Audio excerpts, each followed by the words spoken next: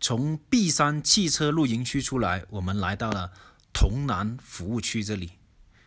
潼南服务区这里呢，非常有特色。你看，它上边有这个脚药包和十元，这个是用来泡脚用的哦。然后洗澡的话呢，就一块钱每分钟。然后储物柜免费，干衣机一块钱十分钟。哇！潼南服务区这里呢，它有免费洗衣服的地方，然后它还有干衣机在这里，这点是我们非常需要的。因为其实免费洗衣服的地方呢，很多服务区它都是有的，但是干衣的地方呢，却很多都没有。我们正是需要这个干衣的地方啊，所以的话，我们打算在这里先把衣服洗好了，烘干了，我们再继续往。观音故里去，然后它这里还有给手机充电的地方，安卓的有，苹果的有，还有以前三星的那种，它也有。这里可以刷牙，什么都方便。那前面这里呢，它有一个沙发床啊，可以在这里休息、睡觉都没有问题，准备都很齐全。我们看一看。哦，它下边这里还有个白色的，白色这个就是用来泡脚的。就刚才我们看的，十元钱一包，可以买一包放到这里边泡脚。哇，这个配套设施非常好。还有这里有个办公办公桌，像那种共享办公的，还有这个插座，方便呐。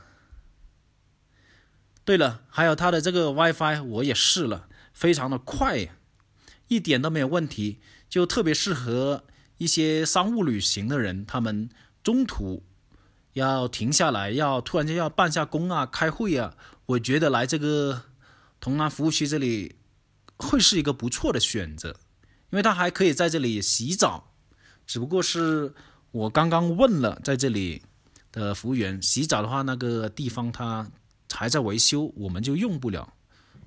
那这个是母婴室，可以在这里奶孩子啊，或者是干点别的都可以吧。那还有一个摇床在这里。今时今日啊，中国的变化非常大，一切都是以人为主啊，这点变化非常好。那这里还有给小孩子玩的地方，还有，当然啦，这个餐厅这些配套肯定是少不了的了。自结了转铜之后，马上开始洗衣服。洗衣服呢，它这个耗时一个小时二十二分呢，这个时间比较长。我们就先去超市买点东西吧。超市是够大，不过的话没有找到我们喜欢的，没关系了。右边这里呢还有很多吃的东西，我们买点吃的东西，就玩一下电脑吧。现在就一边等洗衣机在那里洗衣服，我们就一边在这边吃东西吧。买了一个鸭腿，两个鸡蛋饼，这就算是我们的晚餐了。吃完东西，然后我们又工作了一会儿。这个洗衣服的地方呢，地桶呢也洗好了。那我检查一下上边的烘干机，然后就把这个。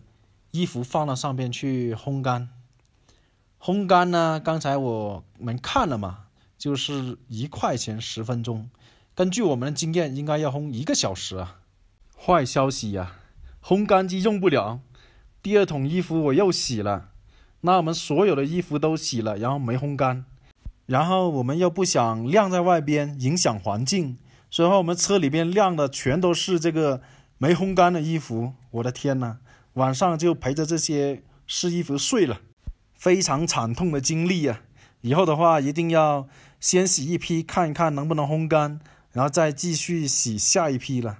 我们这样子搞的，不说了，这个视频就到这里吧，下个视频再见。